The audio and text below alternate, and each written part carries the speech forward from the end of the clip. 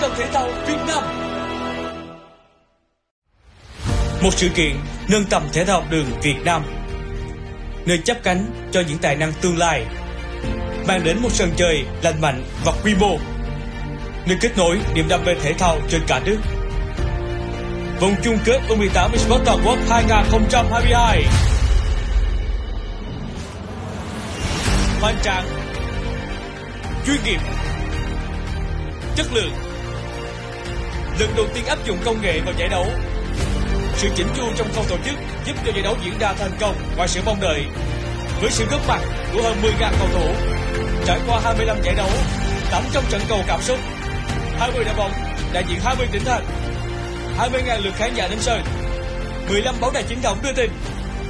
Phát trực tiếp hơn 40 kênh truyền thông trên cả nước, đạt 43 triệu lượt tương tác trên mỗi nền tảng 2023 vòng chung kết U18 Esports toàn quốc chính thức trở lại. Bắt đầu từ tháng 3 2023. Quy mô lên đến hơn 900 đội bóng tham dự.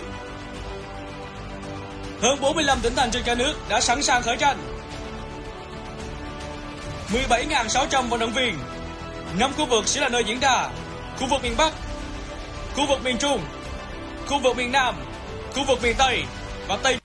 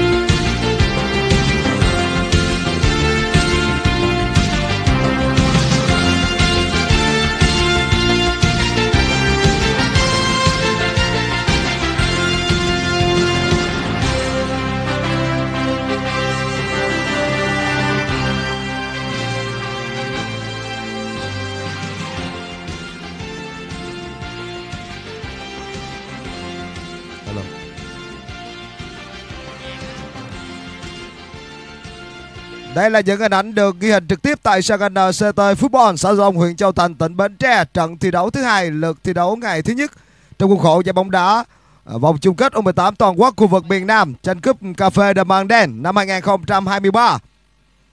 Cặp đấu của chúng ta với sự góp mặt của Trúc Phương Sport đến từ quê hương Đồng Tháp cùng với Hưng Phát Group đến từ quê hương Bình Phước. Ekip Gomeda của chúng em xin gửi lời chào đến quý vị khán giả đang có mặt trực tiếp tại sân NCT Football cùng với khán giả đang tương tác trên các nền tảng truyền thông thể thao Facebook Gon Media, bóng đáp đường Bến Tre, cộng đồng thể thao học đường, cộng đồng thể thao Việt Nam Vsport. Xin chúc quý vị và các bạn có một buổi trưa xem bóng đá thật vui tươi và thật nhiều năng lượng. Và buổi sáng ngày hôm nay cũng đã diễn ra trận thi đấu đầu tiên của lượt thi đấu ngày thứ nhất à, với sự góp mặt của một đại diện đến từ ờ, tỉnh nhà đó là Long Bình FC.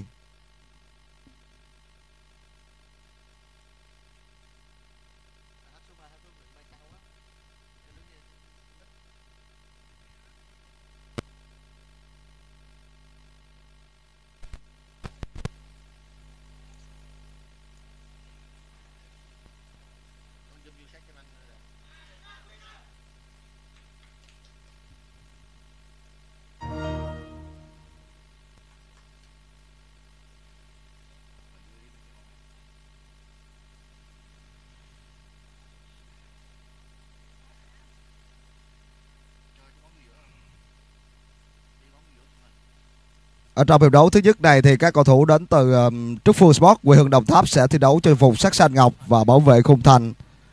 Bên phía tay trái theo hướng nhìn của quý giả về phía đoàn quân của quê hương Bình Phước, Hưng Phát Group sẽ thi đấu trong vùng sắc vàng và trấn giữ khung thành bên phía tay phải theo hướng theo dõi của quý giả các bạn.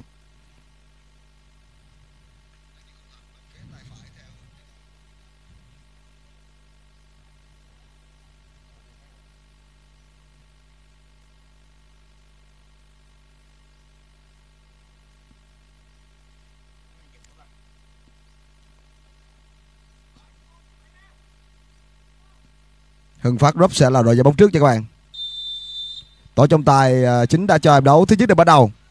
Các cầu thủ đến từ Hưng Phát Group của quê Bình Phước sẽ ra quân với đội hình số 29 Ngọc Thiện, số 3 9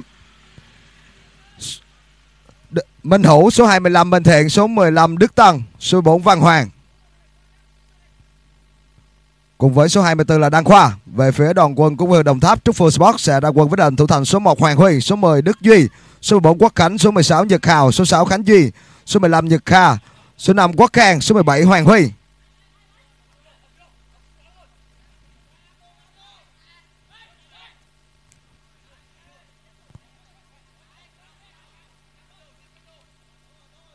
Đình Tú Một đôi vào chân của Trúc Phương Nhật Kha So với trận đấu đầu tiên vào buổi sáng ngày hôm nay Thời tiết đã thuận lợi hơn. Buổi sáng đã có những cơn mưa khá dày dẳng Mưa không to nhưng mà khá dài các bạn.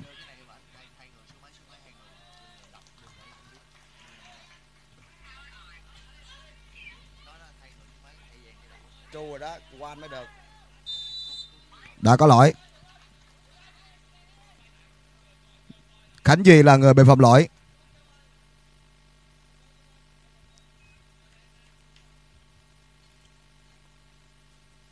à, so với uh, lực um, thể thức thi đấu uh, bảng A bảng B uh, ở những giây phút đầu thì uh, đã có một đại diện của quê hương Long An uh, vì nhân uh, FC đã bị uh, chưa đủ kinh phí để tham gia giải đấu nên uh, ban tổ chức đã chuyển sang thể thức thi đấu uh, vòng tròn uh, với sự góp mặt của năm đại diện của chiếc điểm đầu tiên. Tuy nhiên thì uh, độ chính xác là vẫn chưa cao các bạn.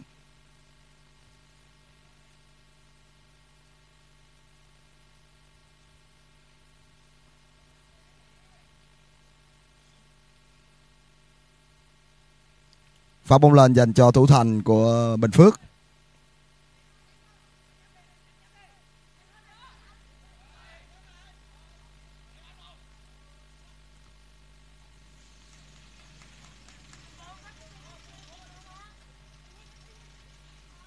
Và triển khai bóng bình làng cánh trái.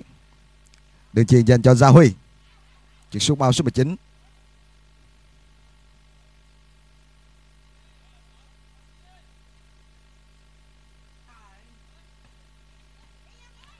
Không hề khó khăn cho thủ thành của Bình Phước.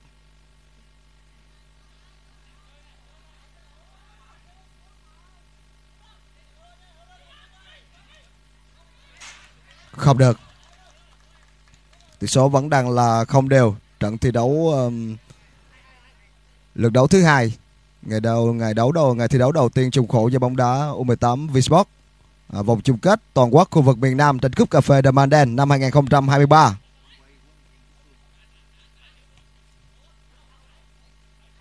Rất nhanh. Đường chuyền của Sĩ Nguyễn. Không được. Và cho bóng trên hình ảnh chúng ta đó là bàn ghế huấn luyện của Truffle Sport. Với sự góp mặt của coach Trúc Phương. Nhật Kha. Nỗ lực vừa rồi sẽ mang về quả đá phạt góc đến từ Nhật Khao. Trước giải đấu này thì ờ, có Trúc Phương cũng đã dẫn dắt U15 uh, ờ, Trúc Phương Sport uh, tham gia vào giải bóng đá BTS Chairman Summer Festival. Nhật Khao Liên tiếp là sức ép được tạo ra về phía công thành của đoàn quân Hưng Phát Group. Tuy nhiên thì uh, à, những cú dứt điểm vẫn còn thiếu đi một ít độ chính xác các bạn. Trên ảnh chúng ta đang theo dõi đó là băng ghế huấn luyện của coach ừ, phía ờ, Hưng Phát Group. Coach uh, ờ,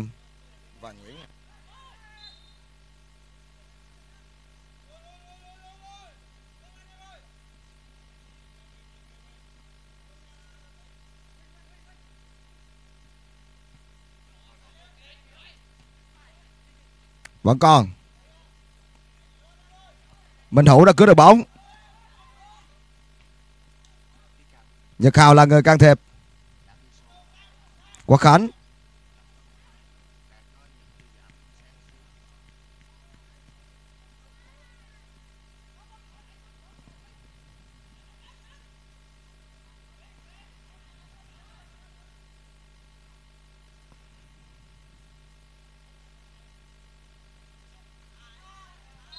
Đã có lỗi.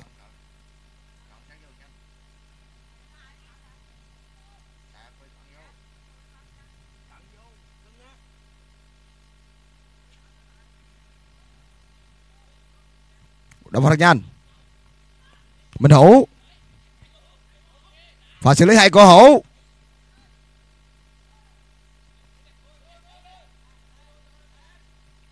Bình Phước đang có những sự chuyển biến mạnh mẽ hơn. Tuy nhiên, sức ép vẫn đang thuộc về đoàn quân của quê hương Đồng Tháp. Điểm đặc biệt của Đồng Tháp là hầu hết các vị coach và trợ lý ờ, trong ban ghế huấn luyện đều là nữ các bạn.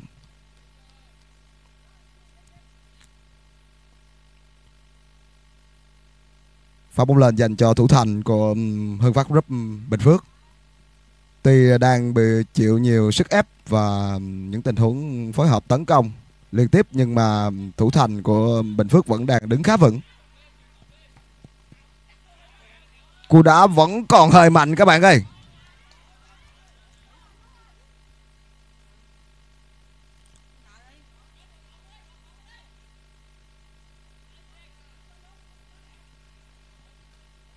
Vẫn còn.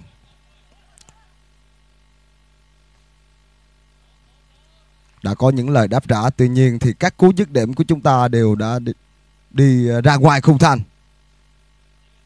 Chưa cho hai thủ môn một cơ hội nào để trổ tài. Ở trận đấu ờ, đầu tiên khai mạc à, vào buổi sáng thì à, sự góp mặt của C1 Bình Dương cùng với U18 Long Bình.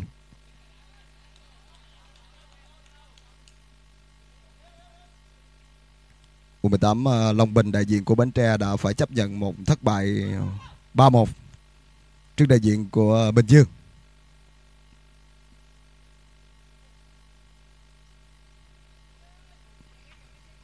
Nhịp đầu của trận đấu đã chậm hơn. Hai đội bóng rất là dè dặt.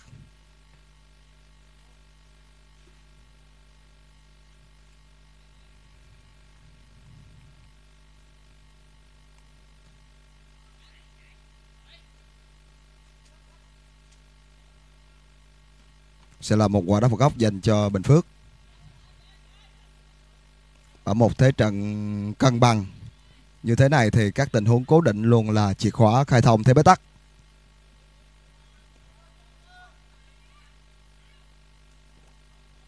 Những lời nhắc nhở liên tiếp đến từ bàn ghế huấn luyện của Trúc Phương cùng với Hưng Phát Group.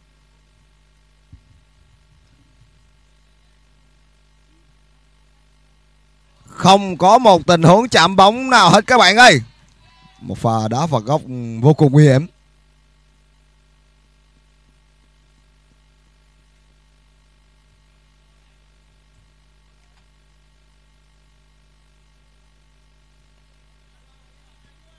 Hoàng Huy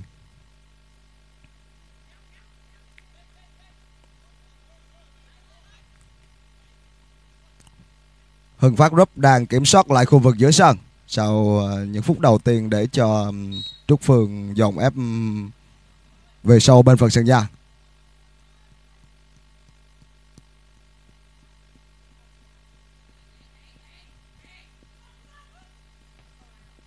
Cú đá từ xa. Quả đông các hậu vệ của Đồng Tháp đang bảo vệ khung thành của thủ môn Hoàng Huy.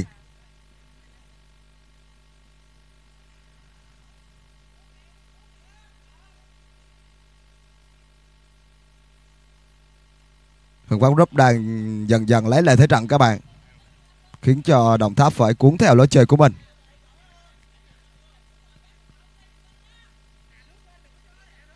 Hiếu Nguyễn sẽ là người thực hiện quả đá biên. Đường chuyền dài của Hiếu Nguyễn. Đường chuyền vừa rồi là dành cho người bạn Sĩ Nguyễn.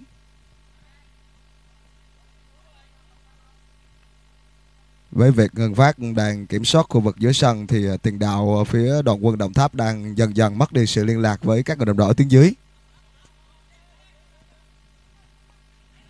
Được chiều dài của Minh Thiện.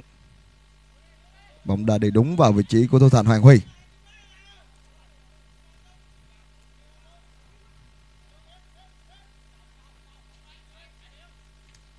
Không được. Sĩ Nguyễn đã thu thòn bóng trở lại. Minh Hữu. Minh Thiện.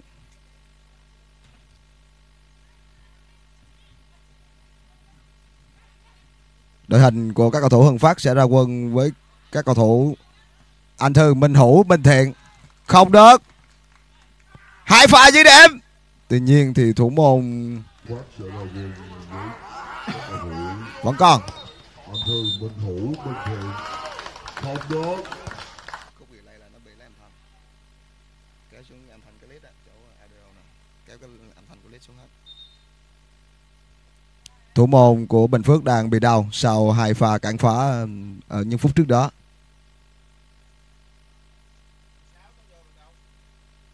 cho cầu thủ môn bên đây bấm bên đây cho mình thủ môn Bình Phước tên gì bấm bên đây nè Hoài Phong rồi ok Hùng Phong Hùng Phong là người đang bị đau. Hùng Phong có một thể hình rất là tốt. Đây là đội hình của các cầu thủ đến từ quê hương Đồng Tháp Trúc Phương. Tiền đạo um, Đức Duy là người thi đấu cao nhất cùng với Hoàng Huy, Nhật Hào của ba trung vệ là Quốc Khánh, à, Khánh Duy cùng với uh, Nguyễn Kha và thủ thành à, Hoàng Huy. Sau khi được sự hỗ trợ đến từ sân sóc viên thì Hùng Phong đã có thể tiếp tục thi đấu trở lại các bạn.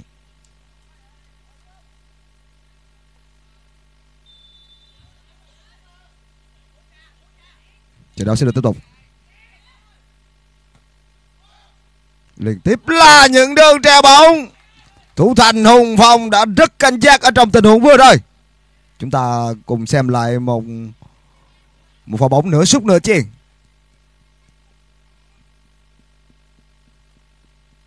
Và bóng dứt điểm kiểu cầu Âu. Nếu như các thủ môn không tập trung, có lẽ sẽ phải nhận lấy một bàn thua.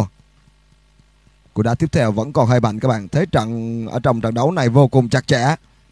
Đồng Tháp là đội bóng đã bắt dịp trận đấu tốt hơn với ba cơ hội và dồn ép đại diện Bình Phước về sau bên phần sân nhà trong ờ, những phút đầu của ờ, hiệp thứ nhất.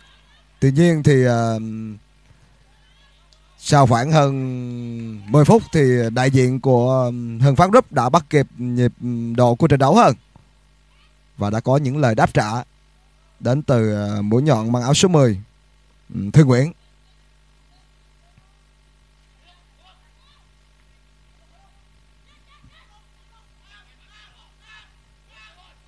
Vẫn còn. Hưng Phước đang chơi pressing tầm cao.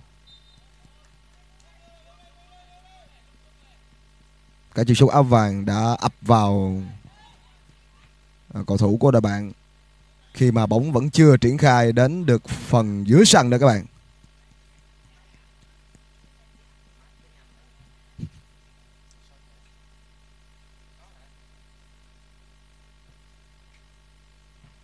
Cú đá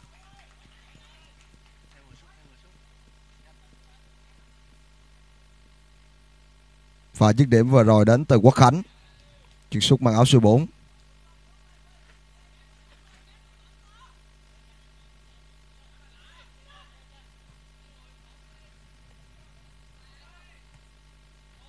Một tình huống dứt điểm ngay từ giữa sân. Người vừa tung ra pha dứt điểm bằng chân phải đó là Sĩ Nguyễn, chuyển xúc mang áo số 12. Sĩ Nguyễn được xem là mắt xích quan trọng của đội quân Bình Phước ở mùa giải năm nay. Một tình huống tác động từ phía sau rất rõ ràng và phạm lỗi của Hiếu Nguyễn. Chuyển xuất màn áo số 1 đã ờ, chủ động à, phạm lỗi ở cự ly ờ, xa cầu môn khu vực cấm địa của thủ môn đội nhà. Đây là một điều rất là cần thiết. Đường trái bóng tiếp theo đến từ Nhật Hào. Nhật Hào có những đường truyền phải nói là rất chính xác các bạn. Chuyển sút áo số 16. Chuyển xúc 16 đến từ đoàn quân của coach Trúc Phương. Quốc Khánh. Cú đá thẳng của Quốc Khánh. Thủ môn Hùng Phong đang bắt rất là tập trung. Chúng ta cùng xem lại một lần nữa tình huống vừa rồi.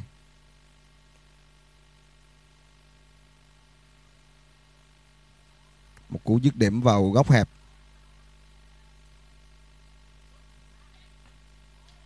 Không được các bạn.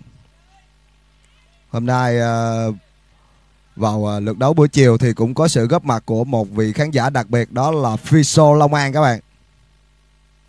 Sắp tới đây thì Fiso cũng sẽ góp mặt ờ, tại sân NCT Football. Trận đấu sẽ được tiếp tục. Hiếu Nguyễn. Cơ hội dành cho đội quân áo vàng. Đây là Thư Nguyễn. Hiếu Nguyễn. Quốc Khánh là người can thiệp. Không được. Đường chuyền của Quốc Khánh dành cho người đồng đội Gia Huy. Gia Huy đang là chiếc sút thi đấu cao nhất ừ, phía đội hình của quyền Đồng Tháp.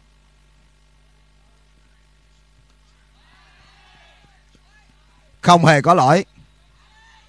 Người vừa bị ngã đó là Sĩ Nguyễn. Dứt điểm từ xa. Minh Hữu.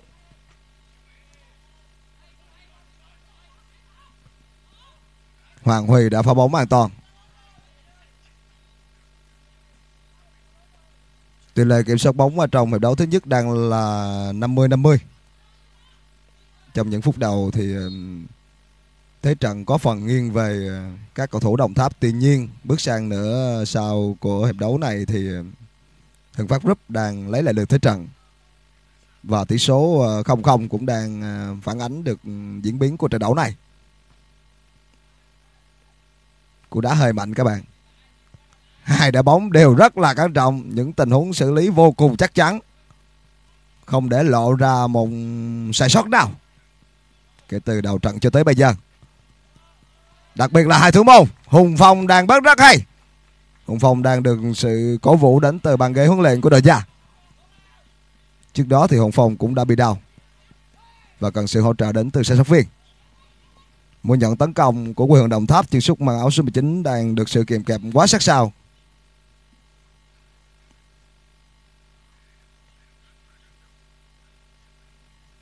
Mang băng đội trưởng của Đồng Tháp ở trong trận đấu này là Đức Duy, chân sút mang áo số 10.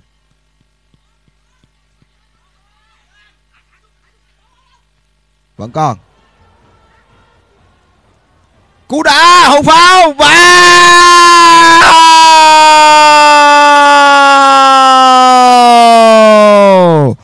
đã có bàn thắng mở tỷ số ở trong trận đấu này rồi, các bạn ơi. Chúng ta cùng xem lại bóng đã bật ra.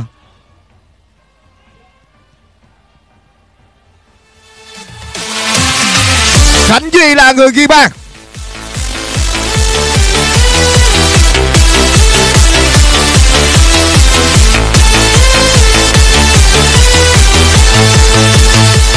Đã đáng tiếc cho Hồng Phong. Trước đó thì Hồng Phong đã bắt rất là hay. Nhưng mà một cú dứt điểm chìm, Hùng Phong cũng đã cản phá được. Tuy nhiên bóng lại dần dần lăn vào trong khung thành. Trước sự bất lực của thủ thành số 1 đến từ Hưng Phát Group, Bình Phước.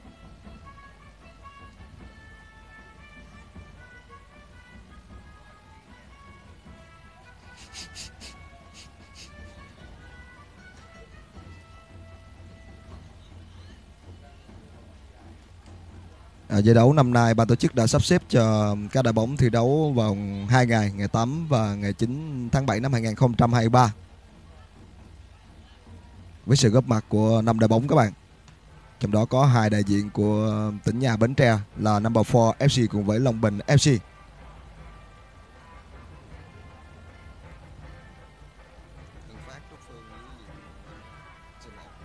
Ngoài ra thì ờ, cũng có ba đại diện đến từ ờ, các tỉnh thành của khu vực miền Nam, đó là C1 Bình Dương, ờ, Trúc Phương Sport của Đồng Tháp và Hân Phát Rúp Bình Phước.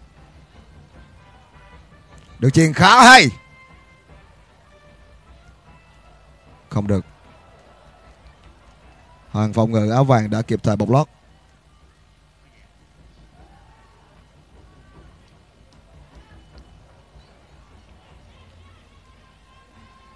Quốc Khánh sẽ là người thực hiện quả đá biên tiếp theo. Những tình huống đá phạt bên lăng cánh của Đồng Tháp thường xuyên không được các bạn ơi. Thường xuyên phải ờ, được sự ờ, thực hiện của Quốc Khánh chuyển sút mang áo số 14. Vừa rồi là pha dứt điểm của cầu thủ mang áo số 19 tiền đạo ờ, mũi nhọn Gia Huy. Ở trong bàn thắng đầu tiên, nếu như mà bóng không lăn vào trong lưới thì Gia Huy cũng sẽ à, có một cú đá bồi các bạn. Gia Huy, Gia Huy đã vượt qua được không vào. Quá đáng tiếc cho tiền đạo mũi nhọn trong tay của có Trúc Phương. Tình huống bóng đã vượt qua được tầm kiểm soát của thủ thành Hùng Phong. Nhưng là tiền đạo mũi nhọn của chúng ta lại có một cú đặt lòng đi ra ngoài. Nếu không thì cách biệt đã được dân đôi dành cho đoàn quân của các Trúc Phương.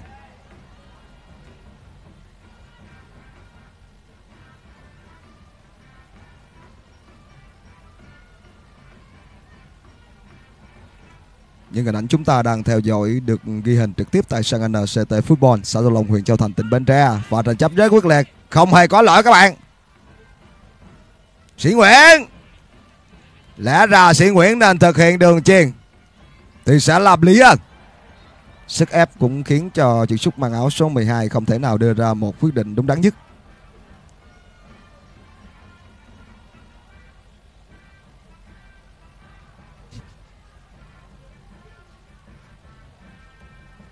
Hoàng Huy.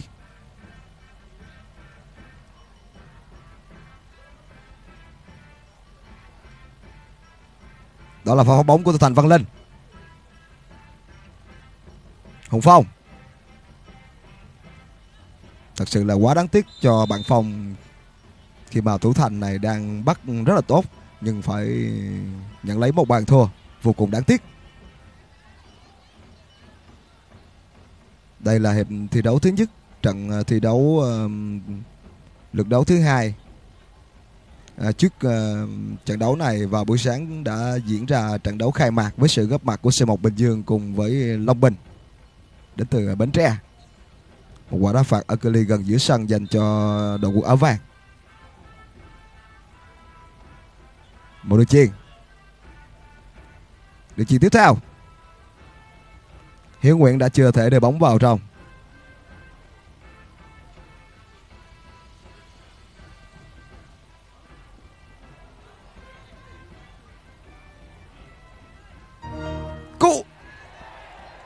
Pha đánh đầu. Tuy nhiên thì à, bóng đã Trúng vào một chiếu xanh đi ra ngoài. Sẽ là một quả đá phạt góc.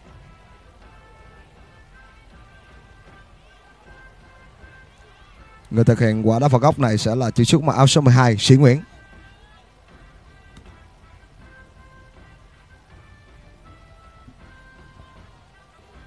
Được chỉ vào trong.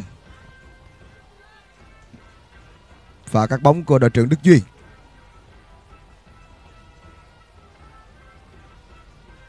Nên tập trung vào việc đá bóng nhiều hơn đi mấy bạn.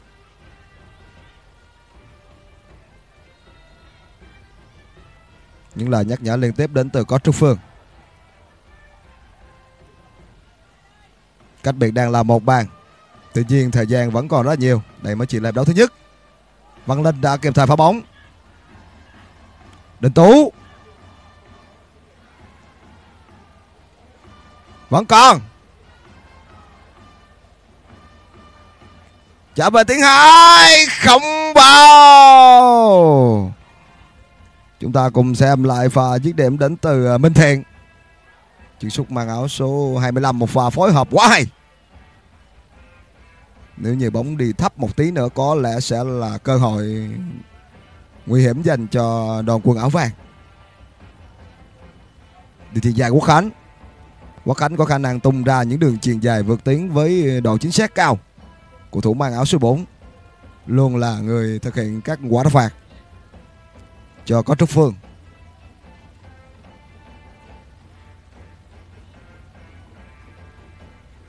Các tiền đạo của Đồng Tháp thường xuyên lui về hỗ trợ phòng ngự cho những người đồng đội ở hàng phòng ở uh, sân nhà các bạn. Vừa rồi là pha lui về rất kịp thời của Gia Huy. Cú dứt điểm của mở đầu. Văn Linh là người chiến thắng. Chúng ta cùng xem lại một lần nữa những tình huống phối hợp của Bình Pháp, ở xin lỗi của Hưng Phát Group Bình Phước là rất nguy hiểm. Trước đó Phúc thì ờ, cũng đã có một cú dứt điểm bằng chân phải của Minh Thiện lại là Minh Thiện.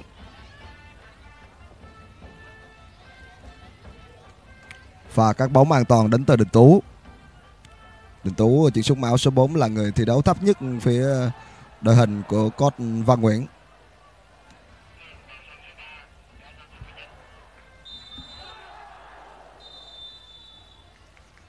Hay hay hay.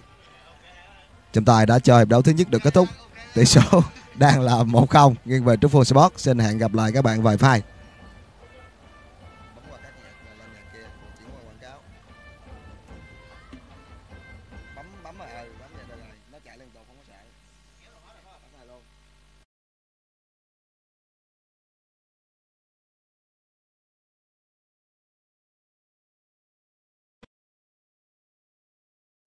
Để quảng bá thương hiệu cho doanh nghiệp, mang hình ảnh doanh nghiệp đến gần hơn với cộng đồng.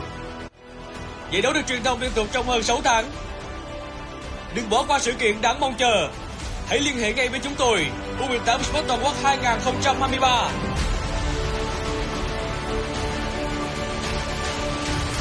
Facebook cộng đồng thể thao Việt Nam. Một sự kiện nâng tầm thể thao học đường Việt Nam nơi chấp cánh cho những tài năng tương lai. Mang đến một sân chơi lành mạnh và quy mô, nơi kết nối niềm đam mê thể thao trên cả nước. Vòng chung kết U18 Esports toàn quốc 2022 hoành tráng chuyên nghiệp, chất lượng. Lần đầu tiên áp dụng công nghệ vào giải đấu sự chỉnh chu trong khâu tổ chức giúp cho giải đấu diễn ra thành công ngoài sự mong đợi. Với sự góp mặt của hơn 10.000 cầu thủ, trải qua 25 giải đấu, 800 trận cầu cảm xúc, 20 đội bóng đại diện 20 tỉnh thành, 20.000 lượt khán giả đến sân, 15 báo đài chính thống đưa tin. Phát trực tiếp hơn 40 kênh truyền thông trên cả nước, đạt 43 triệu lượt tương tác trên mỗi nền tảng. 2023 vòng chung kết U18 Esports toàn quốc chính thức trở lại. Bắt đầu từ tháng 3 2023. Quy mô lên đến hơn 900 đội bóng tham dự. Hơn 45 tỉnh thành trên cả nước đã sẵn sàng khởi tranh. 17.600 vận động viên. Năm khu vực sẽ là nơi diễn ra. Khu vực miền Bắc, khu vực miền Trung, khu vực miền Nam, khu vực miền Tây và Tây Nguyên mang đến cơ hội để quảng bá thương hiệu cho doanh nghiệp, mang hình ảnh doanh nghiệp đến gần hơn với cộng đồng. Giải đấu được truyền thông liên tục trong hơn 6 tháng. Đừng bỏ qua sự kiện đáng mong chờ. Hãy liên hệ ngay với chúng tôi U18 Sport Toàn quốc 2023.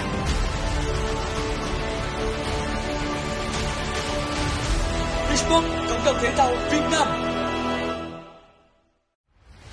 Một sự kiện nâng tầm thể thao học đường Việt Nam nơi chấp cánh cho những tài năng tương lai. Mang đến một sân chơi lành mạnh và quy mô, nơi kết nối niềm đam mê thể thao trên cả nước. Vòng chung kết U18 Esports toàn quốc 2022 hoành tráng, chuyên nghiệp, chất lượng. Lần đầu tiên áp dụng công nghệ vào giải đấu sự chỉnh chu trong khâu tổ chức giúp cho giải đấu diễn ra thành công ngoài sự mong đợi.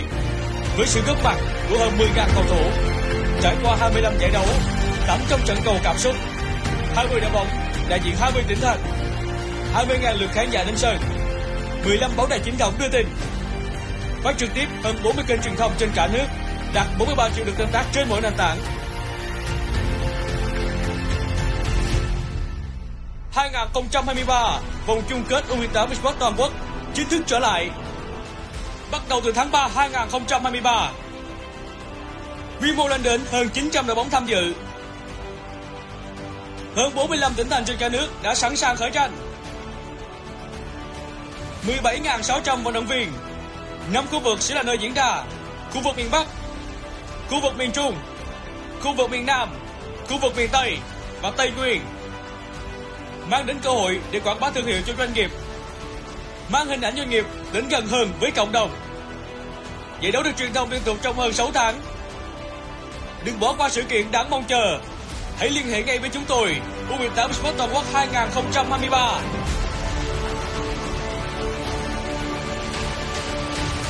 Esports cộng đồng thể thao Việt Nam. Một sự kiện nâng tầm thể thao học đường Việt Nam Nơi chấp cánh cho những tài năng tương lai.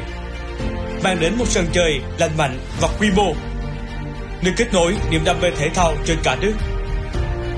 Vòng chung kết U18 Esports Toàn quốc 2022 Hoành tráng Chuyên nghiệp, Chất lượng.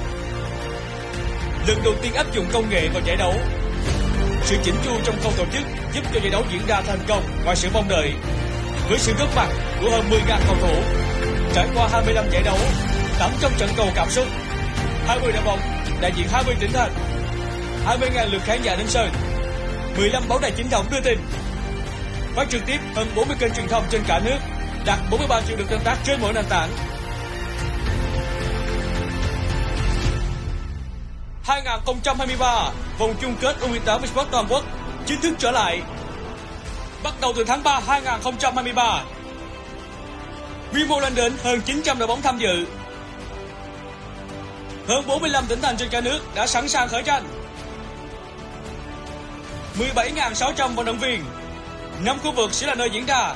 Khu vực miền Bắc, khu vực miền Trung, khu vực miền Nam, khu vực miền Tây và Tây Nguyên mang đến cơ hội để quảng bá thương hiệu cho doanh nghiệp, mang hình ảnh doanh nghiệp đến gần hơn với cộng đồng.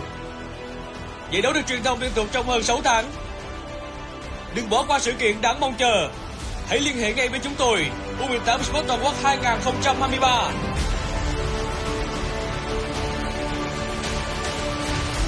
Facebook cộng đồng thể thao Việt Nam. Một sự kiện nâng tầm thể thao học đường Việt Nam nơi chấp cánh cho những tài năng tương lai.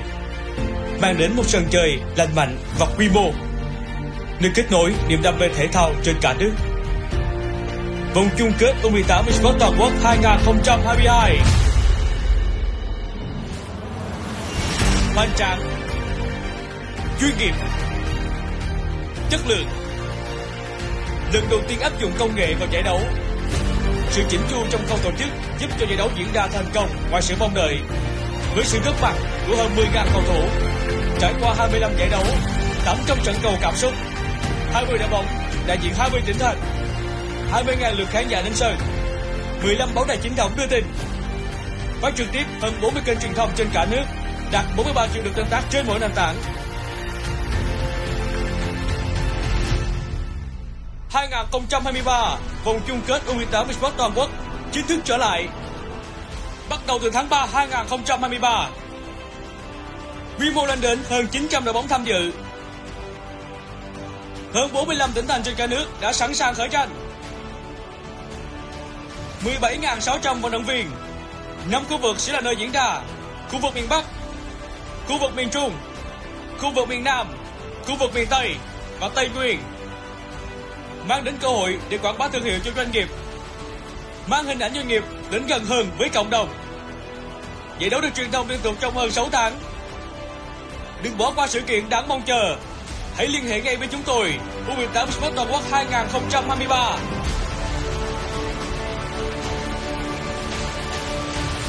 Facebook cộng đồng thể thao Việt Nam. Một sự kiện nâng tầm thể thao đường Việt Nam nơi chấp cánh cho những tài năng tương lai.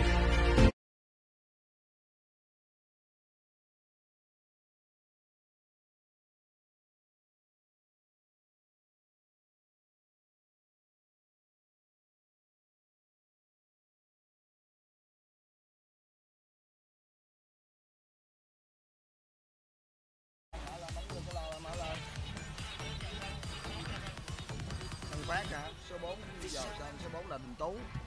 Là vào sân á Đình Tú vào Văn Hoàng là 14 ra Đình Tú là số 4 vô. Văn Hoàng 14 ra Chúng ta cùng trở lại với hiệp thi đấu thứ hai các bạn. Trận thi đấu thứ hai của ngày thứ nhất vòng chung kết U18 toàn quốc khu vực miền Nam tranh cúp cà phê Đầm Mang Đen năm 2023 giữa Trúc Phương Sport Đồng Tháp cùng với Hưng Phát Group Bình Phước. Trong, ở trong hiệp đấu này thì các cầu thủ đến từ ờ, Trúc Phương sẽ là đội giành bóng trước.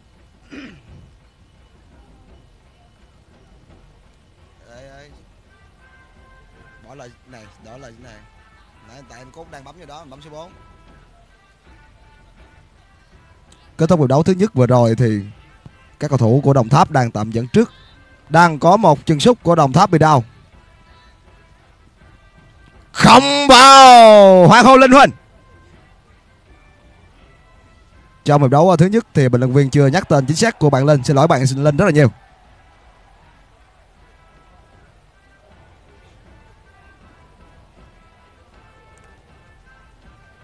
Quốc Quốc Khánh đang là người bị đau sau một pha tranh chấp cùng với à, chiếc xúc của đội bạn.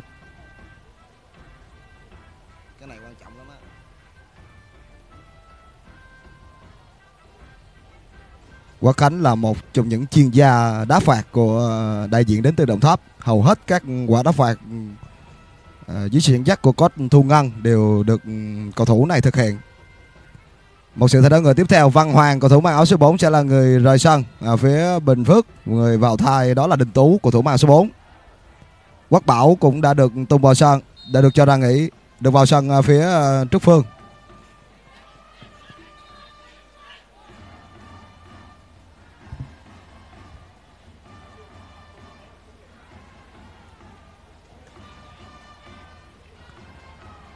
Bình Phước có những bài phối hợp ừ, rất là nguy hiểm.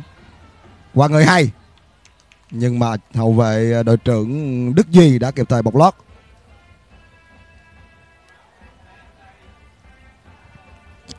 Chúng ta cùng xem lại pha xử lý khéo léo của Minh Hữu chân sút mã áo số 93 93 Bình Phước luôn các bạn.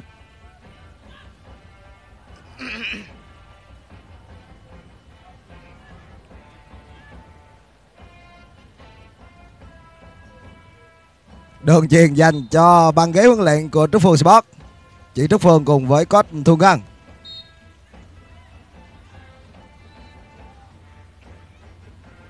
Không vào. Hùng Phong lại một lần nữa trổ tài.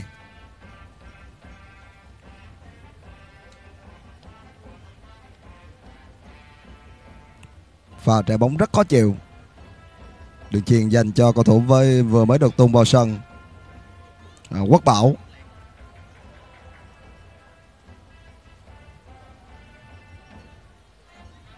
Pha bóng lên dành cho Hùng Phong. Một pha đá phạt góc chưa thành công của chuyên gia đá phạt ừ, Quốc Khánh.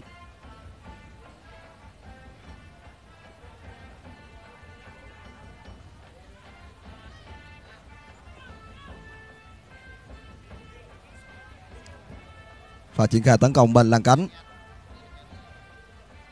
Cú dứt điểm từ xa. Bước sang hiệp 2 thì uh, Vàng Nguyễn đã chỉ đạo cho những cầu thủ của mình Thường xuyên có những cú dứt điểm ở cự ly uh, rất xa Ở cự ly gần giữa sân các bạn. Cũng thật dễ hiểu khi mà Trúc Phương đang chuyển sang chủ động phòng ngự với số đông. Cách biệt đang là một bàn nghiêng về đại diện của Đồng Tháp. Bàn thắng duy nhất được ghi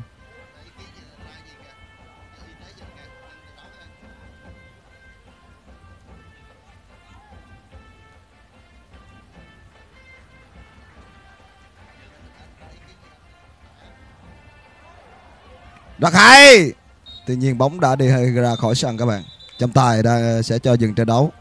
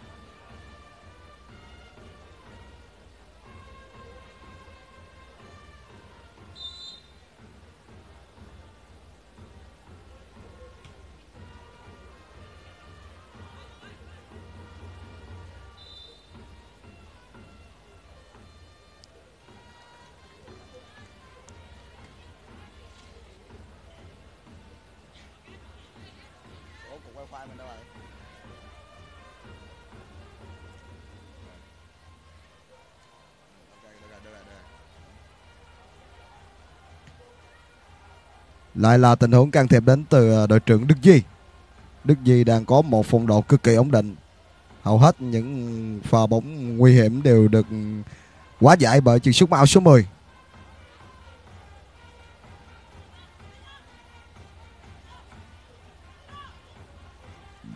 Hùng Phong.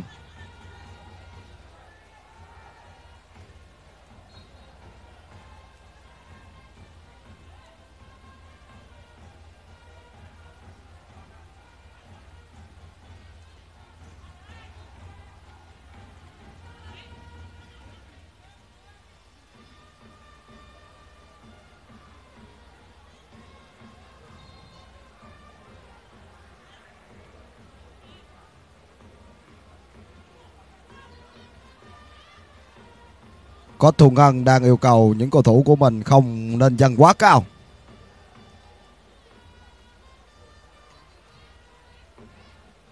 Đồng Tháp đang nhường thế trận lại cho Bình Phước không vào. Đường chuyền của Văn Hoàng.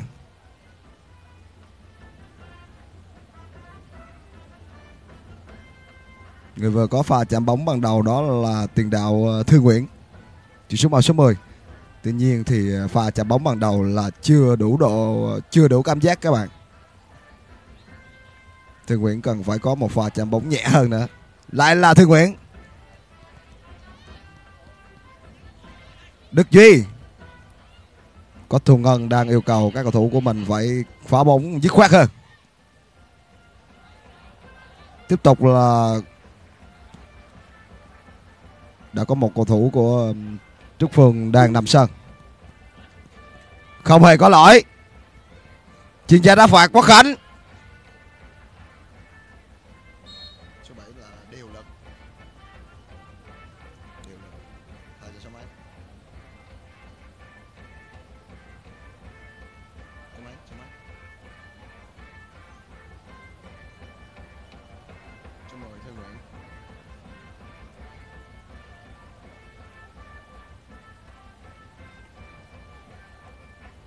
Đội trưởng Đức Duy phải hỗ trợ cho người đồng đội đang bị đau. Tiếp tục là sự thay đổi người đến từ Bình ờ, Phước.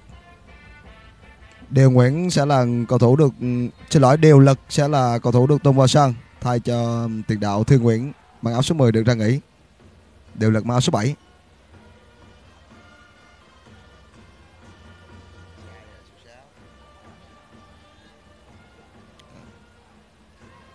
Trúc Phương cũng có sự thay đổi người các bạn.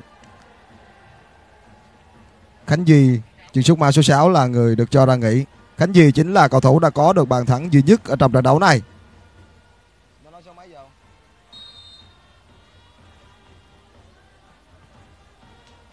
Wow!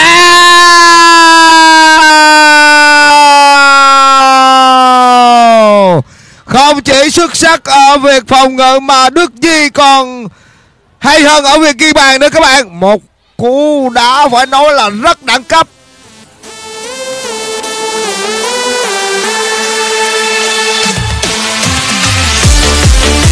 Hùng Phong chỉ có thể đứng nhìn bóng đi vào trong lưới thôi các bạn. Hai không dành cho Cốt Thu Ngân.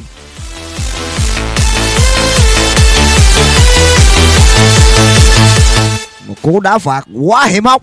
Bóng đã trúng vào cột dọc ừ, đi vào trong lưới các bạn. Hùng Phong không thể làm gì được hơn.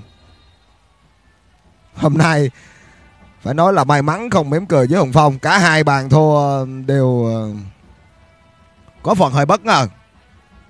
Ngoài khả năng của Hùng Phong rồi các bạn.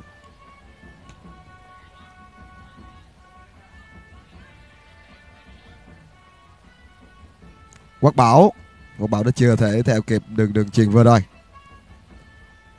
Đây là Minh Hữu Minh Hữu là một trong những niềm hy vọng lớn nhất của cốt Văn Nguyễn ở giải đấu năm nay. Chiếc số áo số 93 Bình Phước.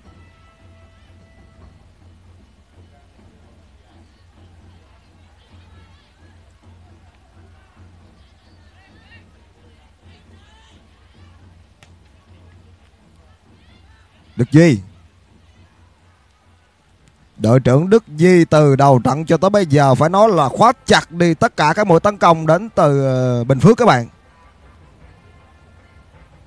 Không có nhiều cơ hội để tiếp cận được cầu môn và thủ môn ờ, Linh Huỳnh.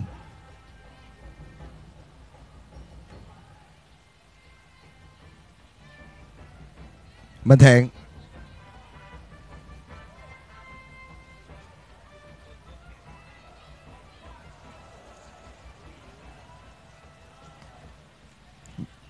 Văn Hoàng.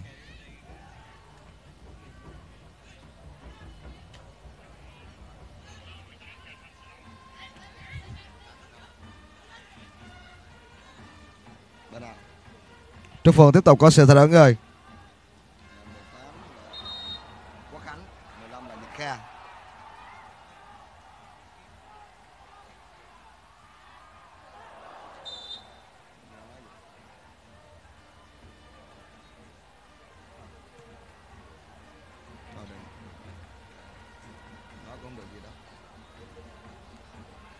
Vẫn còn.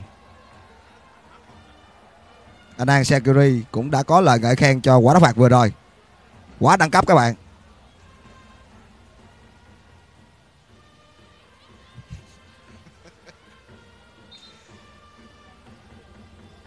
Đang à, có một chiếu xanh đang bị đau.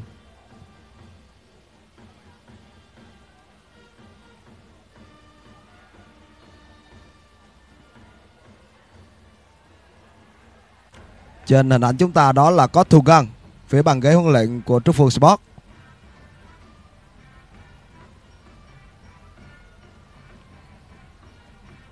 Ở mùa giải năm 2022 thì ờ, có ờ, Thu Ngân cùng với ờ, chị Trúc Phương cũng đã đồng hành với nhau ở vòng chung kết toàn quốc diễn ra tại thành phố Hội An, tỉnh Quảng Nam. Cú đá góc hẹp Linh Huỳnh đã khép góc an toàn. Người vừa tung ra cú đá vừa đó, đó là Sĩ Nguyễn Chuyển sút mặc áo số 12 Khả năng qua người Và xử lý bóng ở phạm vi hẹp Của đoàn quân áo vàng rất là tốt. Tuy nhiên thì hàng phòng ngự của Trúc Phương Đang thi đấu rất là xuất sắc các bạn. Cự ly đội hình giữ rất là chặt chẽ Không hề để lộ ra khoảng trống nào Cái từ hiệp đấu thứ nhất cho tới bây giờ. Đây là Minh Hữu. Tiếp tục là một pha xử lý đến từ chuyển xuất mau số 7 à, Điều lực Điều lực đã được tung vào sân ở trong hiệp đấu thứ hai. Vẫn là bạn lực. Bạn lực rất khỏe. Lại là tình huống cắt bóng chính xác của đội trưởng Đức Duy. Đức Duy là người đã nhân đôi cách biệt cho đội nhà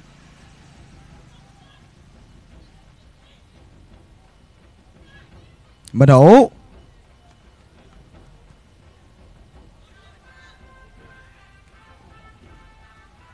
Đều lực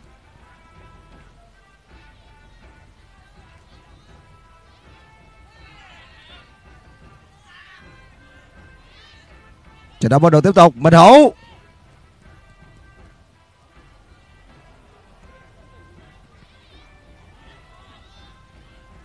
Không có lỗi các bạn. Những nỗ lực liên tiếp đến từ Hưng Phát Group, Bình Phước.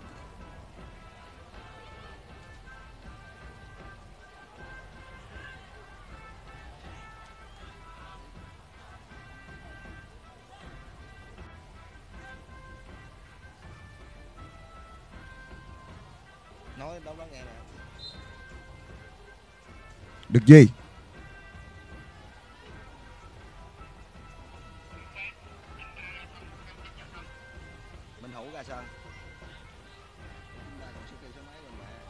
Nguy hiểm! Văn Linh đã kịp thời kiểm soát. Phản công dành cho Đồng Tháp.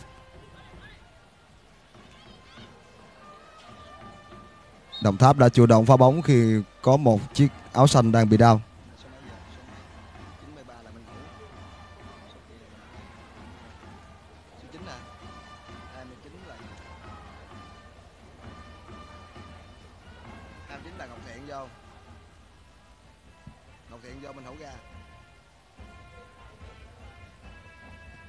Các cầu thủ của chúng ta nên tập trung vào việc đá bóng nhiều hơn đi mấy bạn. Trận đấu của chúng ta đang được ghi hình và phát trực tiếp trên nền tảng cộng đồng thể thao Việt Nam Facebook. Hình ảnh thi đấu của trận đấu này là lan tỏa ở mọi miền của Tổ quốc nha các bạn, không chỉ ở Bến Tre hay là Đồng Tháp Bình Phước đâu.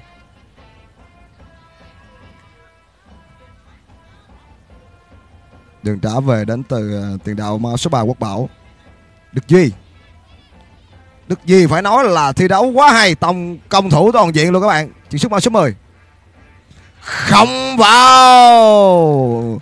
Hưng Phát Group đang có những sự chuyển biến mạnh mẽ hơn. Tuy nhiên bàn thắng là điều mà đội bóng này vẫn đang tìm kiếm.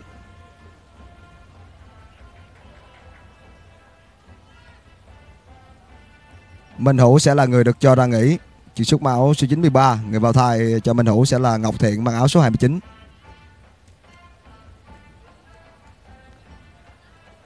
Điều lất.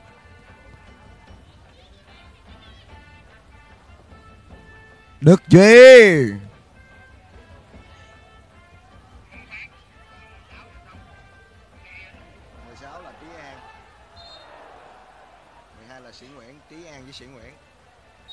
mười sáu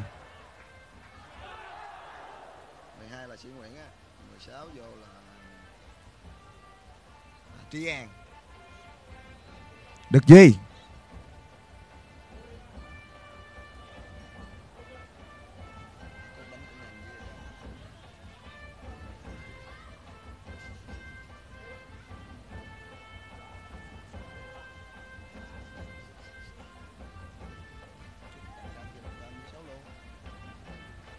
Sẽ là một quả đá biên dành cho đồng tháp đồng tháp cũng không có còn nhiều xu hướng tấn công nữa các bạn. Khi mà tỷ số đang nghiêng về à, đoàn quân của Cốt Thuần Ngân.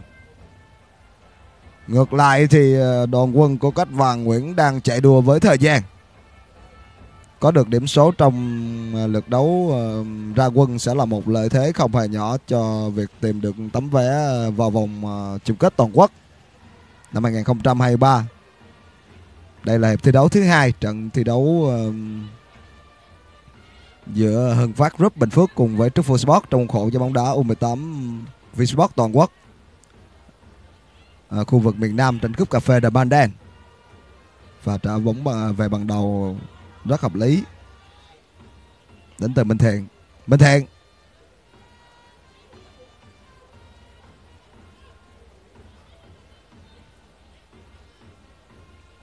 toàn bộ đoàn quân áo xanh đã lùi về bảo vệ bên phần sân nhà các bạn không có một cầu thủ nào ở bên phần sân của đội bạn.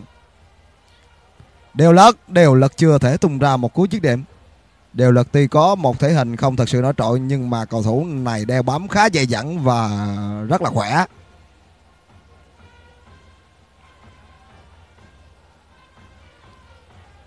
Được gì?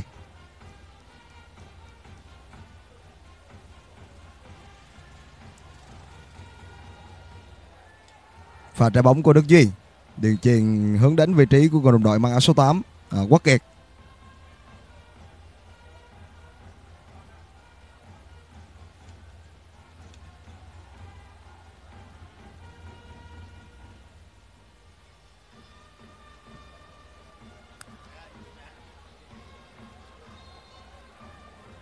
Huỳnh Linh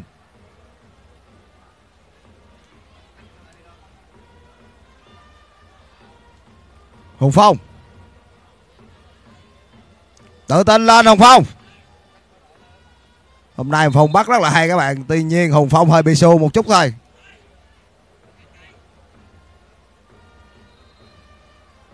Chuyên gia đá phạt Quốc Khánh. Bóng đã trúng vào điều lực. À xin lỗi. Trúng vào à, Văn Hoàng.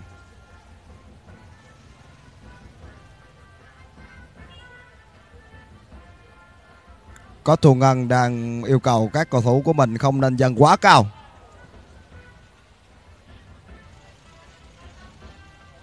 Rất hay. Ngọc thiện ngọc thiện vừa mới tung vào sân nên vẫn còn rất là khỏe, đều lực.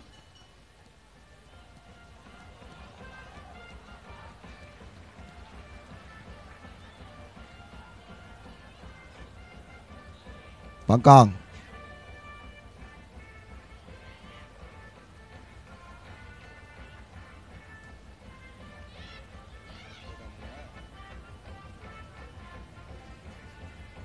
Hồng Phong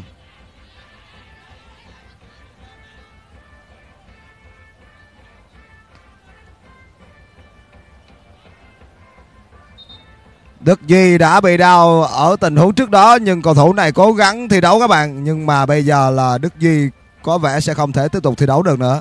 Hôm nay Đức Duy cũng đã hoàn thành quá xuất sắc nhiệm vụ của mình, khóa chặt đi tất cả các mùa tấn công đến từ Bình Phước và cầu thủ này cũng đã mang về bàn thắng trên chấm đá phạt. Một một trong những bàn thắng phải nói là đẹp mắt nhất của giải đấu năm nay.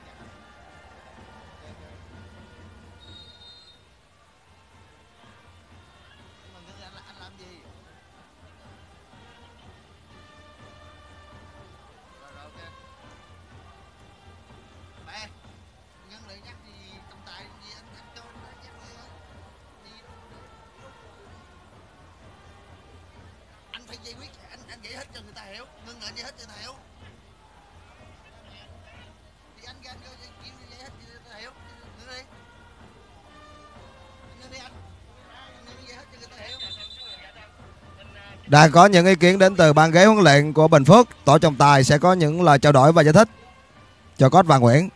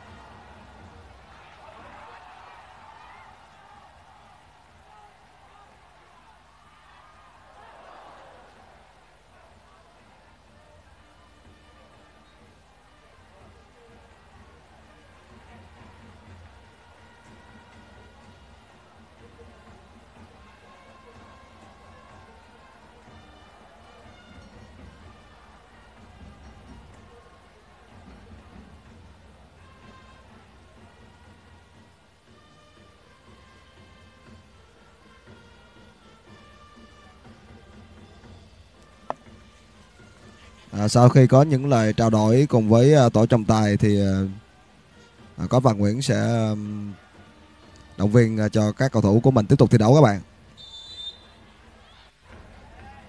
Trận đấu sẽ được tiếp tục. Quốc Khánh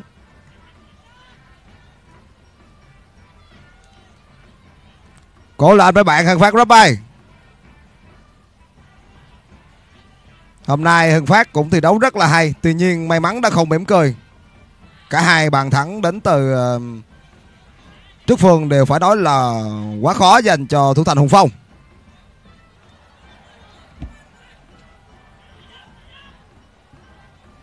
Minh thiện. Văn hoàng. Không được cú dứt điểm của văn hoàng đã trúng vào người đồng đội các bạn.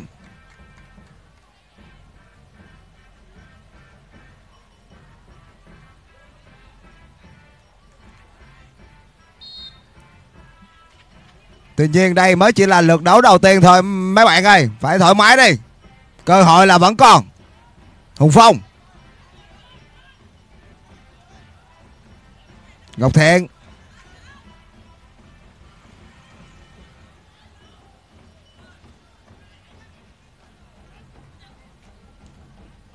Quốc Khánh.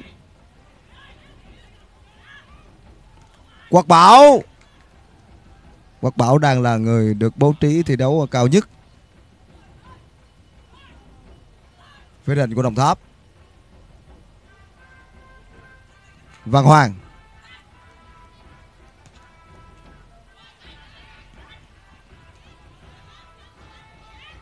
Quốc Khánh.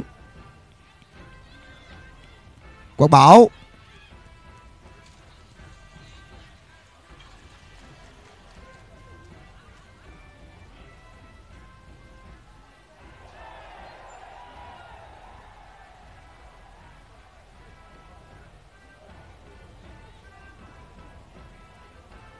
Của Khánh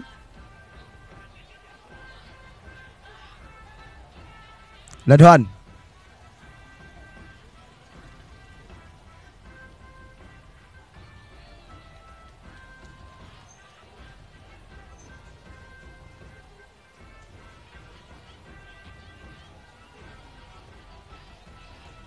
Có thù ngon đã yêu cầu các cầu thủ của mình phải dâng cao hơn nữa, Đặc biệt là Quốc Bảo. Lối đá biên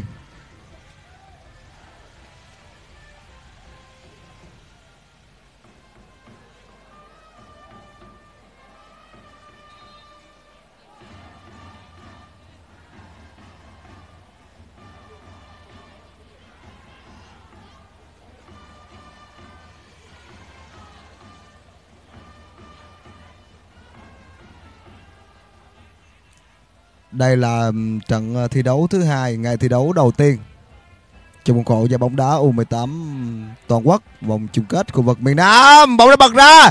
Cú đá bồi vẫn không vào các bạn ơi. Vâng, vậy là trọng tài đã cho hiệp thi đấu thứ hai được kết thúc. Xin chúc mừng cho đoàn quân của có Thù Ngân đã có được 3 điểm đầu tiên ở lượt đấu ờ, ra quân. Xin hẹn gặp lại các bạn trong ít phút nữa. Còn sắc. Rồi cho em cầu thủ xuất sắc luôn thầy ơi.